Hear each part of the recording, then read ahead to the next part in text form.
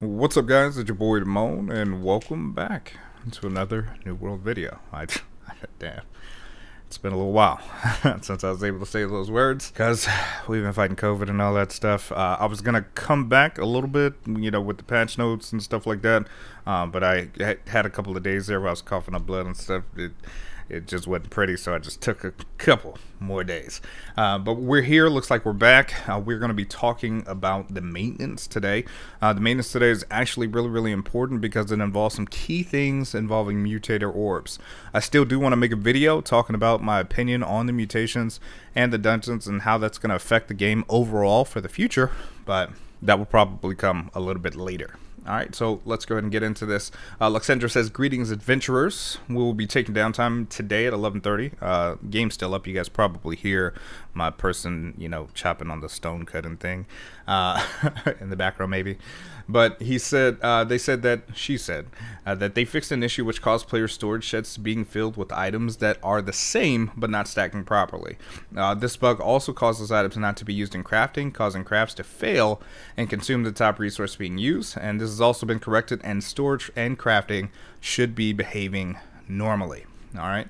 Uh, the next thing is the the Ring of the Forger signet, uh, which was improperly removed from the game and players' inventories is now earnable in game but will not automatically return to your inventory. They're saying that they apologize for the inconvenience and will deliver a made good to return this item outside of a patch to players who had equipped it at any point. Now, this is the most important one, okay? Because you, you guys know mutations have been out. We've been running mutations like nonstop since the patch yesterday.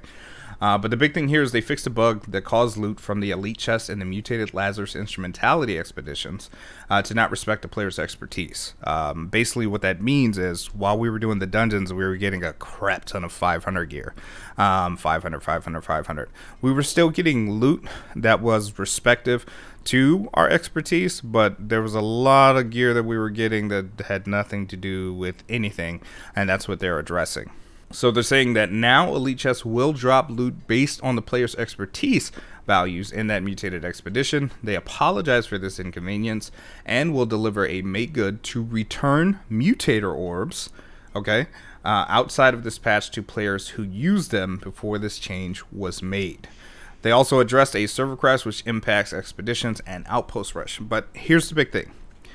The challenge with, uh, well, the blessing is that we're going to get the mutator orbs back because the way that mutators work right now is you can only do basically three per person per week. Um, so you'll basically want to make sure you have a lot of friends or make some friends so you guys can run the mutators as much as possible. Um, why they did this and decided to run it that way, where you can only get like a limited amount of mutator orbs per week, is beyond me. But you know, it is what it is. Um, the kicker here, though, is that we don't know when we're going to get our mutator orbs back. So even though they're giving us them back, which is I think a good move, um, I wouldn't I wouldn't count on them being here soon. Uh, this could be a thing where we might not see the mutator orbs till later this week and if not later this week, then potentially next week uh, for the actual maintenance and update.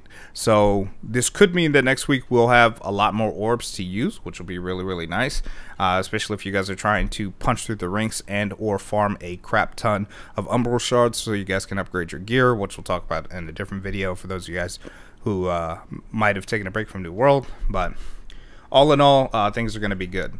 So I just wanted to take a little bit of time, um, a come back to New World and uh, start making videos again since you know we're almost over this COVID hump, and b uh, just kind of share this information with you guys because this is actually really really important as this affects uh, the work that you guys have been putting in and resources that you guys have spent to get your mutator orbs to do this. So anyway, guys, uh, thank you guys so much for tuning in. It feels really, really good to be back finally and being able to play video games again.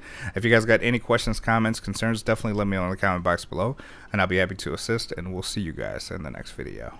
Peace.